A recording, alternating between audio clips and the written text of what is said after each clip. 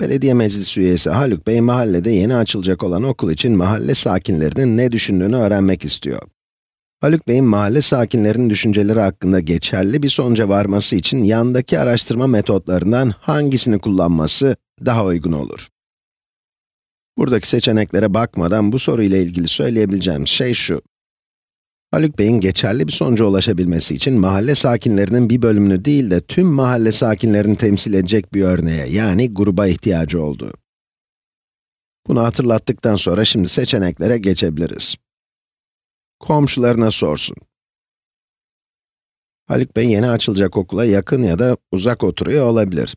Ve Haluk Bey'in adresine göre açılacak okul Haluk Bey'in işine gelebilir ya da gelmeyebilir. Bu durumda Haluk Bey'in komşularının da tüm mahalle sakinlerini temsil ettiğini söyleyemeyiz. İkinci seçenekte Haluk Bey'in fısıldayan camlar bakım evi, fısıldayan çamlar bakım evinde yaşayan insanlara sorması gerektiği söylenmiş. Bu da tüm mahalleyi temsil etmez. Birinci seçenekte coğrafi bir seçim söz konusuydu. Bu seçenekte ise belirli bir yaş grubu temsili grup olarak seçiliyor. Yaşlı insanların fikri alınırken orta yaşlı ya da genç insanların fikirleri sorulmuyor. O halde bu seçenekte bütün mahalleyi temsil etmez. Üçüncü seçenekte isimleri rastgele seçilecek olan 200 mahalle sakinine danışmak var. Evet, bu kulağa mantıklı geliyor. Bu şekilde herhangi bir insan grubu seçilebilir. Burada herhangi önemli. Tabi bu isimlerin belirlenmesinde kullanılacak yöntem sorgulanabilecek olsa da bu grup tüm mahalle sakinlerini temsil edebilir. Son seçenekte ise Haluk Bey'in bir çocuk parkındaki velilere sorması gerektiği söylenmiş. Bu da komşulara sormakla aynı şey.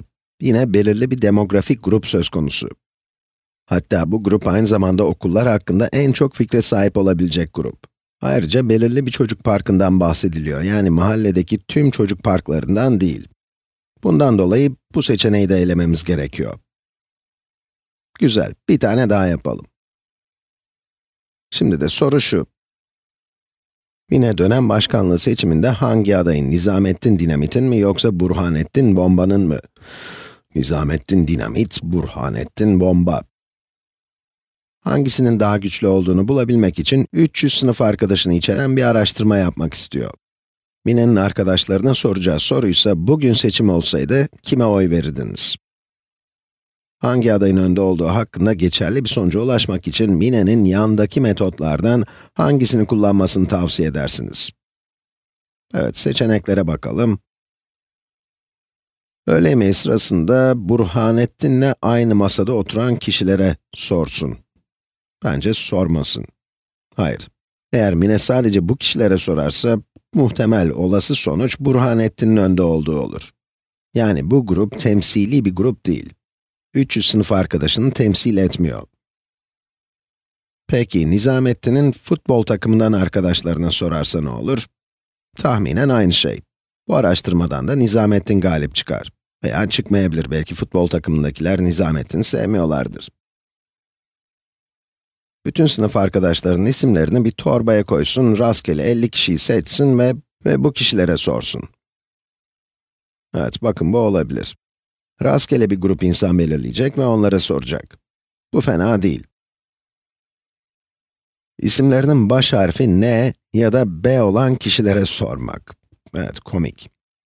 Bu seçenekte de rastgele bir seçim yapılacak diye düşünebiliriz ama dikkat edin, olasılıklar dahilinde Evet, biraz komik duyulsa da, ismi N ile başlayan insanların Nizamettin'i, B ile başlayanların da, B ile başlayanlarını Burhanettin daha çok seviyor olmaları var. Ayrıca isimleri bu harflerle başlayan kimse olmayabilir.